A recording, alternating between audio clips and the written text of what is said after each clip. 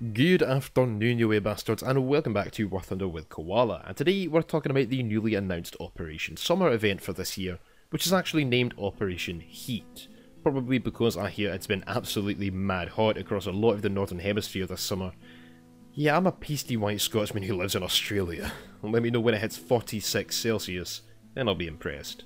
Now, this operation is not another one of those unlock the parts slash pay through the nose on the marketplace, build a bear kind of events. Instead, starting August 2nd, you'll simply complete tasks in order to earn coupons, and then you just spend those coupons on vehicles. No need for marketplace shenanigans. I'm sure this is how most people prefer it, it definitely is how I prefer it, I despised the I-180 crap that happened earlier this year, I completely gave up on that. But I do know that some people did enjoy the building tank style, so this news will be unfortunate for all three of you. This year we're getting not four, but six unique vehicles, given that there are now two new naval rewards, but in this video I just want to go over the dev blogs for three of the new vehicles, two tanks and one aircraft. This is because these are the specific vehicles that appeal most to me personally. I mean, I could go on about the Naval Forces reward vehicles, I just don't find them myself to be all that worth covering, but we've got a couple of bits of strangeness to go over with some of these vehicles too. Firstly, the BT-7 F-32, which will be a Rank 2 Soviet light tank available upon completion of 5 tank-based tasks. The tasks themselves are pretty standard fare, get assist per match, kill a certain number of enemies, win a certain number of battles, really they should be pretty easy, especially if you're in a squadron, so I don't doubt that even a lot of you casual scrubs will be able to unlock even the more costly reward vehicles if they're what you're focusing on. The BT-7 F-32 is... well, it's pretty self-explanatory. It's a BT-7 cruiser tank prototyped with the F-32 76mm gun. This is obviously very similar to the F-34 gun seen on some of the earlier T-34s, and given that this BT-7 F-32 will be a Rank 2 vehicle, this one is most likely going to get the scouting ability, unlike the regular BT-7 or BT-5, or even the T-50 light tank at battle rating 2.7, and of course none of the T-34s have it. This is actually a vehicle that somebody brought up on one of my recent videos. If you haven't been keeping up with the channel, I've got a little playlist going on full of suggestions for light scout vehicles and armoured cars that could be added into the game, and the most recent episode was on options for Russia. Now, I didn't mention this tank specifically myself, mainly because I didn't actually know it existed, it just slipped under my radar. Uh, but it did exist, there are photos of it, I'll try and put one in the video. Honestly, I don't know how this one passed me by when I made that video last week. Now, we don't have this exact gun in War Thunder as of right now, but what we have to compare it to are the two 76mm guns on the Rank 2 T-34s, the L11 and the F-34. The F-32 is slap bang right in the middle of these two guns in muzzle velocity, penetration, etc. Which means probably just under 100mm max pen, and if we're lucky, this tank will get access to smoke shells, just like the T-34 1941, which has the very similar F-34 gun.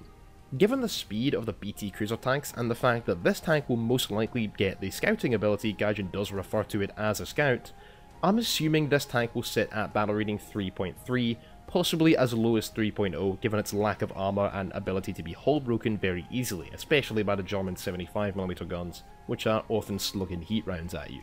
The BT-7 F-32 never ended up going into serial production, despite it being highly recommended as a standard upgrade for the Soviet Union's existing BT-7s, of which there were a lot. Now, one thing I have a problem with when it comes to this tank, and not even with the tank but with the dev blog, is that Gaijin specifically suggests taking this vehicle into much higher ranked battles as a tank to rush capture points and accrue easy spawn points for aircraft. All three of these things happen regularly of course, but none of them in my opinion should be encouraged. There's this unwritten rule in tank battles, at least there used to be, that when the capture points are lined up 1, 2, 3 and a line between your spawns, that you wait at your team's closest cap before capturing it early game so that allies can share in the spawn points and your team overall can field more tanks on the battlefield. What Gaijin is suggesting is that you should do the exact opposite of this, rushing the cap and stealing all the capture points for yourself, and essentially this means that they are actively discouraging teamwork and selflessness. Great job, guys. Actually, if you didn't know, Gaijin's basically already removed this tactic, because it used to be that you earned a certain reward for capturing a zone regardless of how many tanks were in it when it was capped. What mattered was how long you had been in the point while it was being capped. Well, Gaijin literally decided to nerf teamwork, and rather than giving a set number of spawn points to each player who capped, capturing the zone now shares the SP among each player in the zone, so if there are two of you in it when it gets capped, you only get half the reward each. Three of you, then you get a third each. Four of you, only 25% each, dependent on how long each of you has been in the zone. But you get the picture. You're waiting for your teammates before capturing, you're going to earn pittance compared to what you would if you were the only tank rushing the capture point, jumping in there first, not waiting for anybody on your team. This is honestly one of the stupider decisions Gaijin has ever made, and I can actually say that with a straight face. One thing Wargaming has always done better than Gaijin is promoting team play in their games, but Gaijin, who already don't do this as well, decided they'd actively discourage and even go so far as to punish this level of coordination even further.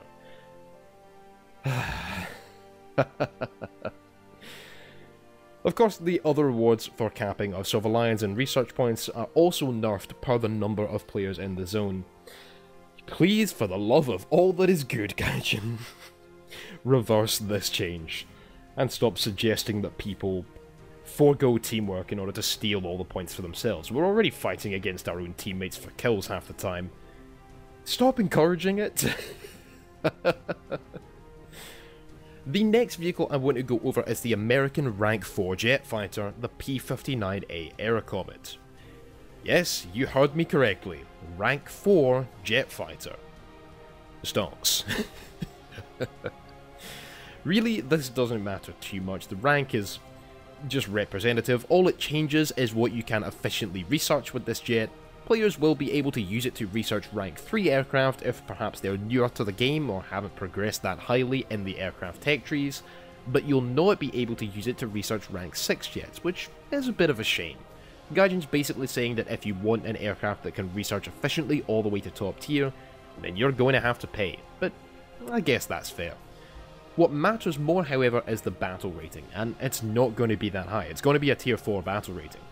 The P-59A Airacomet was your standard Bell aircraft during World War II, not really that well liked by the US Army Air Force, but unlike the piston-powered Airacobra, the US weren't forced by circumstance to actually use the damn thing. The Airacomet was designed to be the first jet-powered fighter aircraft in the world, which obviously it never succeeded in holding that title, but it began development back in 1941. The aircraft would feature the British-designed Whittle turbojet engine, and Britain would receive one of the completed Airacomets in return for one of their Gloster Meteor Mark 1s. The aircraft was designated P-59A, or at the time XP-59A, in order to give the impression that it was tied to the actually unrelated Bell XP-59 project, a prototype pusher-powered prop fighter prototype pusher-powered prop... Try saying that five times fast similar to the XP-55 Ascender, and this aircraft was never actually built. A funny story, but the XP-59A actually had its first flight accidentally, as it became airborne while taxiing the day before its scheduled first flight in October 1942. Numerous problems with the airframe and engine meant that the P-59A was not ready for mass production until 1944, and by that time many piston-powered aircraft matching it or even outclassing it in performance, such as the P-51 Mustang or Bell's own P-63 Kingcobra. Bell then decided to cancel the project in favour of producing the Kingcobra, and only a small number of 20 aircraft was placed for the US Army Air Force. Two additional P-59As were sent to the US Navy for evaluation under the designation YF-2L1, but these were very quickly judged unsuitable for carrier operations. Some further 30 aircraft ended up being produced in the end, bringing the grand total up to 66 aircraft built carrying the name Airacomet. None of these lasted long in service, however, being replaced by the P-80 Shooting Star, and several were used as stationary targets or static display pieces, which can still be seen today. The Airacomet was a poorly designed aircraft. Although interesting aesthetically, with the engine nacelles being part of the fuselage, something unseen for the time, the aircraft itself was riddled with issues of stability and controllability, evidenced by the fact that it took off from the taxiway accidentally, and the performance of the aircraft was abysmal compared to other jet-powered designs, the 262, the Meteor, etc. Of course, you can give it some slack for that, being designed to enter service as a jet-powered fighter aircraft before any other in the world, but it lacked performance severely over its main competitors, the Gloster Meteor and the Messerschmitt 262. It was deemed very slow by test pilot Chuck Yeager, achieving well under 700 km an hour maximum speed, and had a decidedly poor responsiveness. Because of this, War Thunder pilots can look forward to a nice low battle rating jet in the P-59A, something America doesn't have yet. No higher than 6.3 and possibly even 6.0, which will make it the lowest battle rating jet in War Thunder, at least so far. Given that P-51 Mustangs were known to outperform this aircraft not just in mobility but in straight line speed as well, I think this is definitely feasible and it would make sense given that the aircraft will be going into rank 4 rather than 5. This fact might make the Airacomet interesting to use, as regardless of performance statistics, jet aircraft do fly noticeably differently to props, given their penchant for achieving their greatest engine performance characteristics while at the upper ranges of their speed. Props are the exact opposite. However, Matchmaker might prove the death of this aircraft, as rank 4 aircraft around this battle rating like Griffon Spitfires, Tiger Cats, Bearcats, and the P-51 H5 Mustang, all of which will dance all over this thing, and all of them rarely avoid being matched up against some nasty German jets already. Still, it is an interesting design, it looks pretty cool, I mean, look at the size of those wings. Chunky bastard. it's equipped with one M4 37mm cannon, just like other Bell aircraft, and three 50 caliber machine guns, and should have access to some rockets and bombs as well, making it good for tank battles. Hopefully the aircraft does get a battle rating of 6.0, as that'll make it perfect to use with my M41A1 Walker Bulldog, a tank that I absolutely love. It does set an interesting precedent, however, of having a jet aircraft below rank 5. This is the first time we've seen this. Does that mean that perhaps the HE-162 and Yak-15P that sit at a battle rating of 6.3 might move down into rank 4 as well? Are we going to eliminate that wall between prop and jet-powered aircraft? What about the TU4, which sits at battle rating 8.0? Is it going to move into rank 5? And does this herald the arrival of hybrid powered aircraft like the Ryan Fireball, which was powered by both props and jets? What about much more modern close air support aircraft like the Embraer Super Tucano, a prop powered aircraft, but with some real nasty weapons options including a variety of missiles? What about the turboprop powered Tu-95 Bear, a bomber people have suggested might be a potential rank 6, which even though I don't think it would work in the current game, it must be on Gaijin's list of things they want to add. That was a lot of questions, and I want you guys to let me know your thoughts on this down in the comment section below. It opens up some pretty interesting discussions. While a lot of the Bell Cobras ended up being exported to the Soviet Union because America really didn't like the things all that much, the P-59A Airacomet never really took off at all, pun intended. The British felt decidedly duped knowing that they'd swapped one of their far superior Gloster Meteors for such a piece of trash, but in War Thunder it'll be nice to see how it performs if it sits at a tier where it sees down tiers to fight TAR-152s and BF-109s, G-56s and the like. It'll definitely be interesting to fight against high-tier Japanese props in this aircraft. It's available upon the completion of 10 aircraft tasks, of course we skipped over the 5 task reward aircraft, a model of the Bf-110 fitted with an early iteration of the German 30mm machine cannon. Now the last vehicle I want to discuss today is the 10 task reward ground vehicle, the AUBL-74 HVG or High Velocity Gun, which is a rank 5 Italian armoured car developed in the late 1970s and has a very interesting armament. The four-wheel tank destroyer developed by Fiat originally housed the 90mm Cockerill gun, which was shared by the British FV-101 Scorpion, but the anti-tank capabilities of this gun were not deemed satisfactory for the Italian armed forces, as it had no ability to fire armour-piercing rounds, only chemical energy projectiles.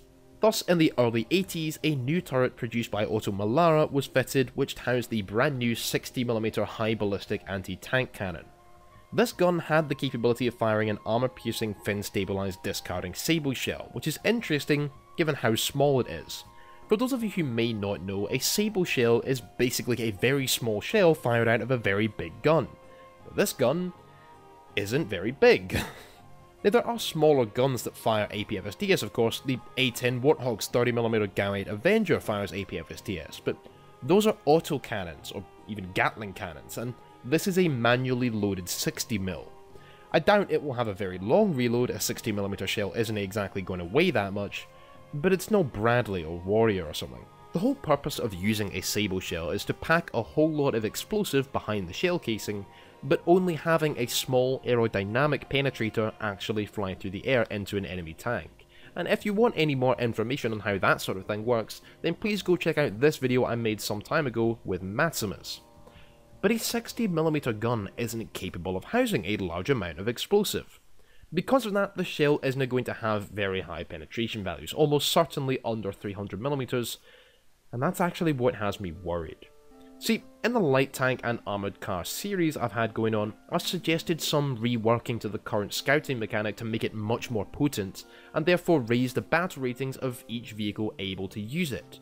But unless those types of reworks and buffs come, scouting itself isn't a much of a benefit, and because of that, I expect this vehicle to sit quite low in the battle ratings.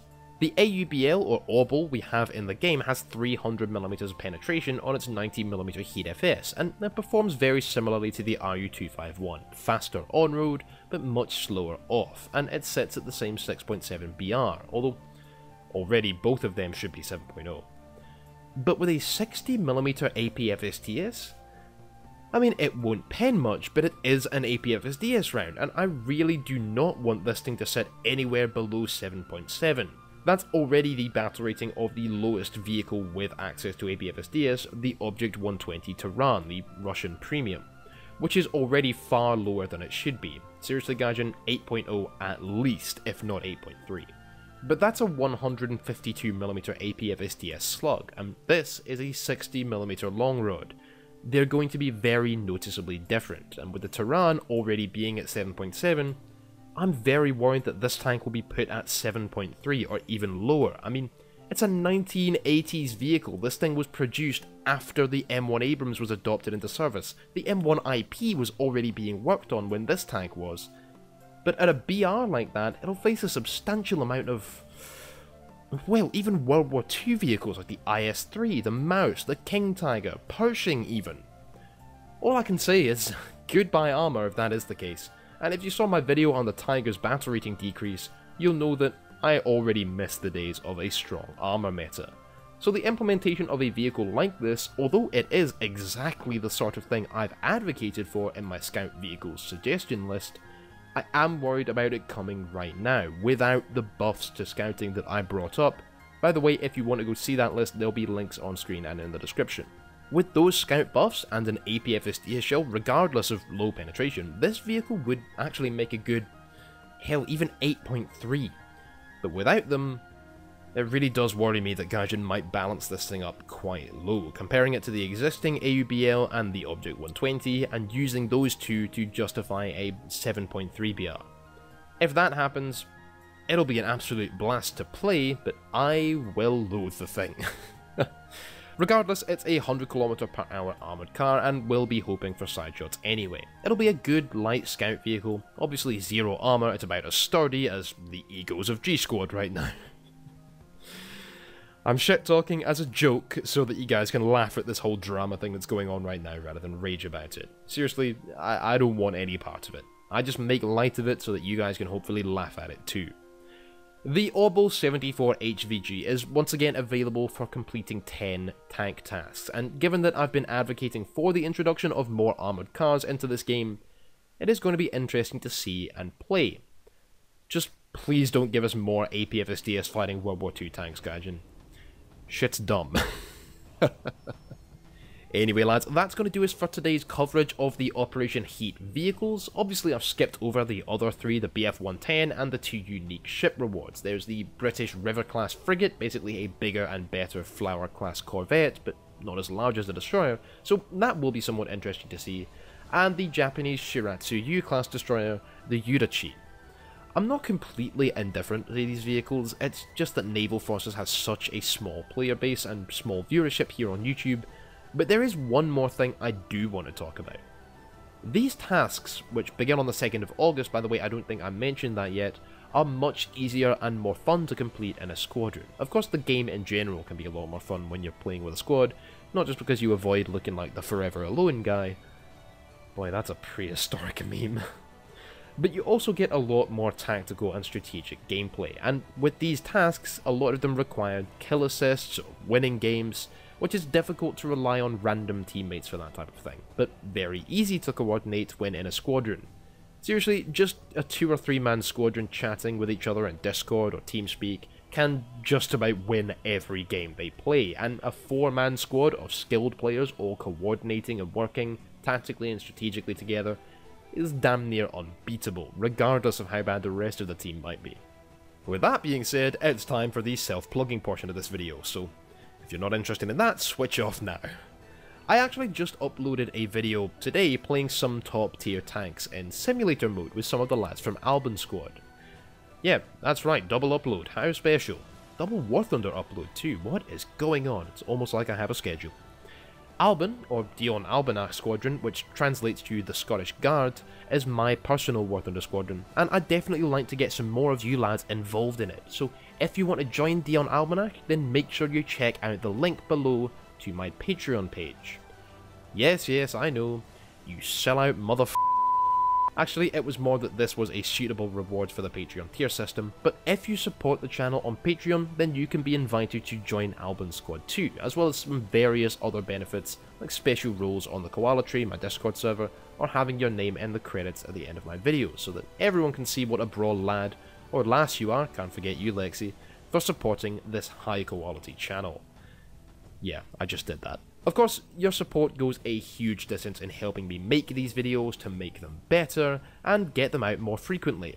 Seriously, if I could upload 5 times a day, I would, and I want to thank all of you lads who do already support me for supporting me. I didn't think that line through. So if you want to join in, especially while this event is going on, as well as throwing your support at me and accessing some very nice rewards, then go down, hit the link in the description, and check it out. I can't wait to have you lads join. It's going to be pro.